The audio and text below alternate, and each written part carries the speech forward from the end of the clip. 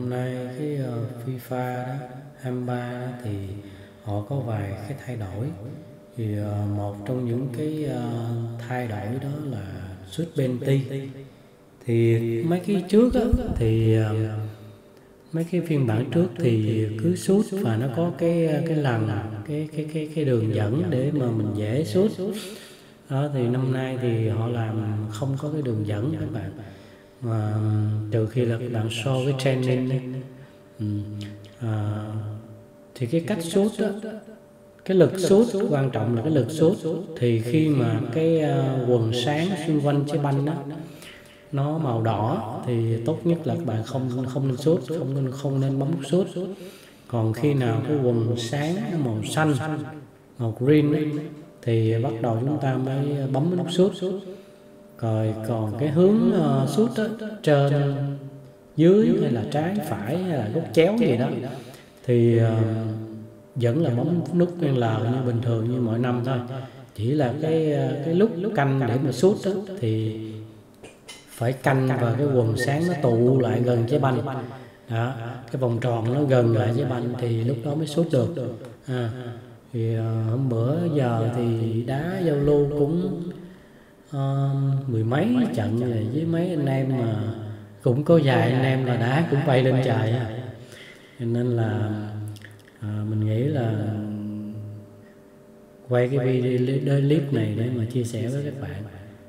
à, thì bây giờ mình bấm uh, tạm dừng rồi giờ mình bấm uh, để mình sốt ha mình resume cái uh, cái chân mắt lại ha.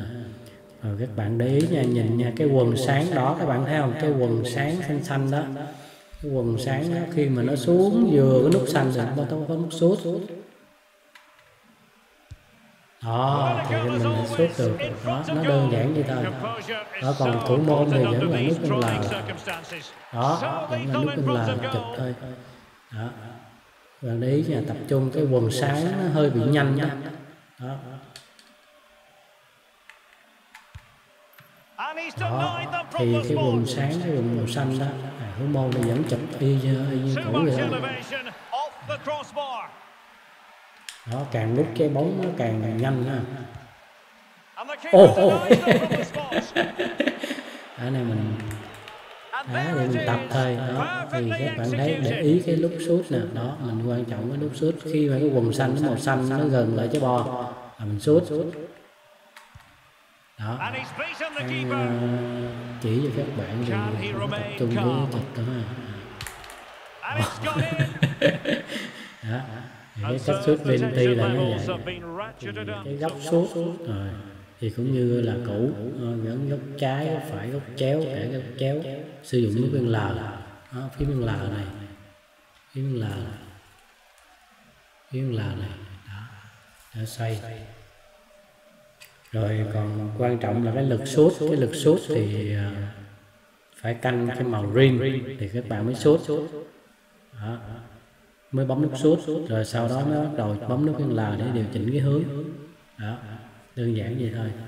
Mà mình sợ tới trên mạng kiếm cũng toàn là người nước ngoài không à. chứ người Việt cũng khó, cũng ít. Nên là cố gắng chia sẻ với anh em Well, what a penalty this is. He was under so much pressure, but he's finished it really well.